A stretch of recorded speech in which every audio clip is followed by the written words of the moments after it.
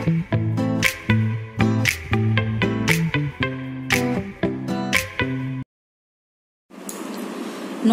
বন্ধুরা, মৌ জিয়াম্মি রান্নাতে আপনাদের সকলকে স্বাগত। আজ আমি বানাবো চিকেন চাপ। তো সেই চিকেন চাপ বানাতে কি কি লাগে আর কেমনভাবে অতি সহজেই বাড়িতে মোগলাই খানার রেসিপি বানানো যায়, সেটাই আজ আমি আপনাদের সাথে শেয়ার করব। এটা আপনারা নান প্লেন রুটি কুলচা ইত্যাদির সাথে খেতে পারেন। তো চলুন, আমরা রান্নাটা শুরু করি। তো চিকেন চাপ বানানোর জন্য এখানে আমি চিকেন নিয়ে নিয়েছি, বড় বড় পিস নিয়েছি। নিয়েছি কাজু বাদাম, পোস্ত আর আলমন্ড একসাথে বাটা। আর লাগছে এখানে আদা রসুন বাটা, পেঁয়াজ বাটা, টক দই দুধে গোলা জাফরান লাগছে জায়ফল জৈত্রী গুঁড়ো, লাগছে হলুদের গুঁড়ো, কাশ্মীরি লঙ্কার গুঁড়ো, আর নুন, গরম মশলার গুঁড়ো, ঘি, আর লাগছে কেওড়া ওয়াটার। তো আমি এবার এটা ম্যারিনেশনটা শুরু করছি।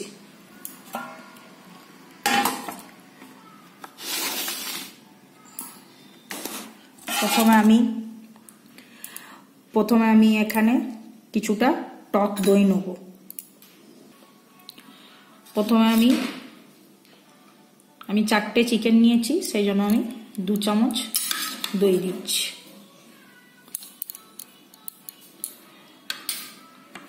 এখানে পেঁয়াজ বাটা দিচ্ছি।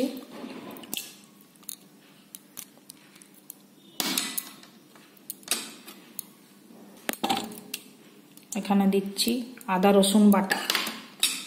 আদা, রসুন বাটাটার মধ্যে আমার ছেলে হলুদের গুঁড়ো মিশিয়ে দিয়েছে। আর দিচ্ছি আলমন্ড আর পপি সিড পেস্ট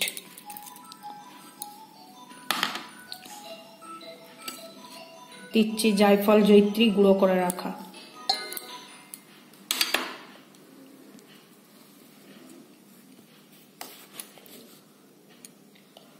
দিচ্ছি নুন, আন্দাজ মতো নুন।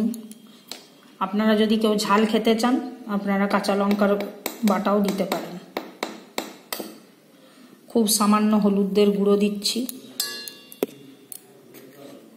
আর দিচ্ছি কাশ্মীরি লাল লঙ্কার গুঁড়ো। এটা মুগলাই খানা, সেই জন্য এখানে আমি ঘি ব্যবহার করছি। এটা গরম মশলার গুঁড়ো। আমি পুরো রান্নাটাই ঘিয়ে করব, এখানে আমি তেল ব্যবহার করব না। আপনারা চাইলে যারা ঘি অ্যাভয়েড করেন, তারা তেল ব্যবহার করতে পারেন, সাদা তেল। কেউ ডালটাও ব্যবহার করতে পারেন, বনস্পতি যেটা, ওটা ব্যবহার করতে পারেন। এখানে আমি লেবুটা দিয়ে দিলাম, লেবুর রস দিয়ে দিলাম। এবার এটা আমি পুরোটা হাত দিয়ে মিশিয়ে নিচ্ছি।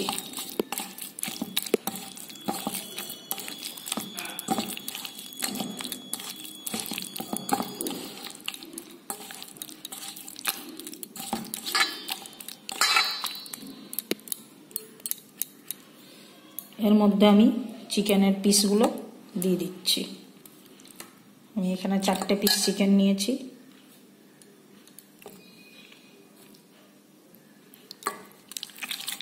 এবার এগুলো ভালো করে এই মশলাটা দিয়ে মাখিয়ে দেবো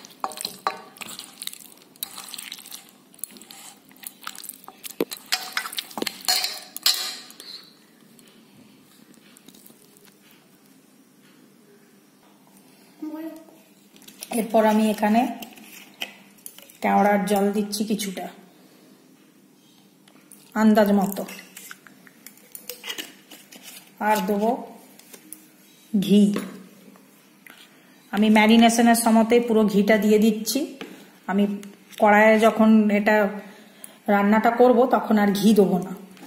সেই জন্য এখনই আমি বেশি পরিমাণে ঘিটা দিয়ে দিলাম। আপনারা চাইলে বনস্পতি দিয়েও করতে পারেন।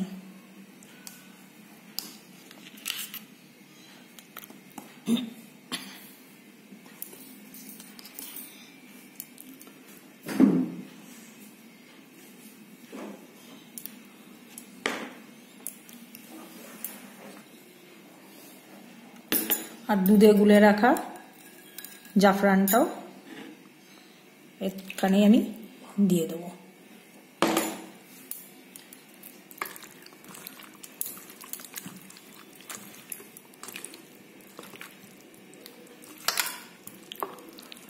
এটা ম্যারিনেশনের ওপরে রান্না হবে।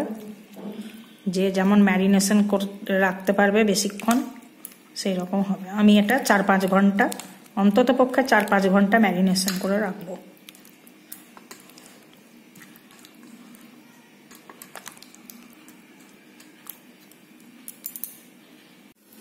এখানে আমার কড়াটা গরম হয়ে গেছে। এর মধ্যে আমি এই ম্যারিনেট করা চিকেনটা এই ম্যারিনেট করা চিকেনটা আমি পুরোটা ঢেলে দেব। শুকনো কড়াতে আমি পুরো চিকেনটা ঢেলে দেবো কারণ এতে আমার ঘি অলরেডি ম্যারিনেট ঘি ম্যারিনেসের সময় অলরেডি আমি দিয়ে রেখেছি আর এই চিকেনটা রান্না হবে যতক্ষণ না পর্যন্ত কুক হচ্ছে।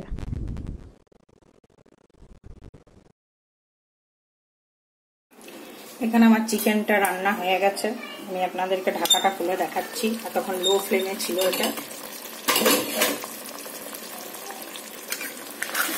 দেখুন কত সুন্দর কালারটা এসেছে।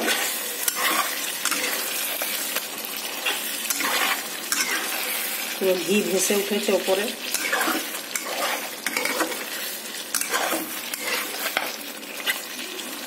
এখানে দেখুন হাড়ের থেকে মাংসগুলো ছেড়ে ছেড়ে গেছে।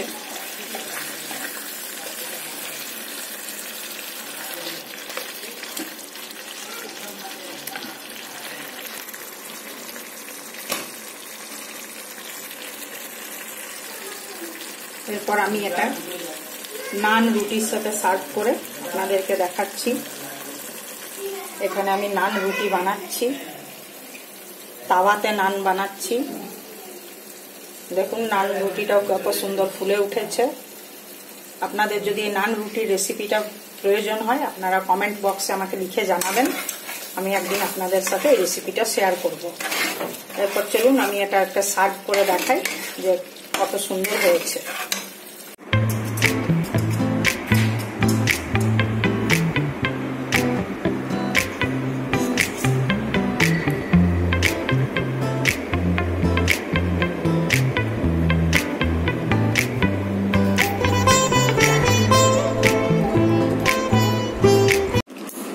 তো বন্ধুরা, আমি এটা সার্ভ করেছি এইভাবে, পেঁয়াজ দিয়ে সাজিয়ে। আমি এটার মধ্যে কোনো লঙ্কার ব্যবহার করিনি, গুঁড়ো লঙ্কা ছাড়া। আপনারা চাইলে কাঁচা লঙ্কা বাটা ঝালের জন্য দিতে পারেন, আমি দিইনি। আর আপনারা এই রেসিপিটা দেখে বলবেন যে কেমন লাগল। মোগলাই খানার রেসিপি চিকেন চাপ অতি সহজেই বাড়িতে। তো এটা একটু দেখে বলবেন কমেন্ট লিখে জানাবেন। আজ এই পর্যন্তই, এরপর আরও রেসিপি নিয়ে আপনাদের সাথে আমি খুব শীঘ্রই আসছি। Thank you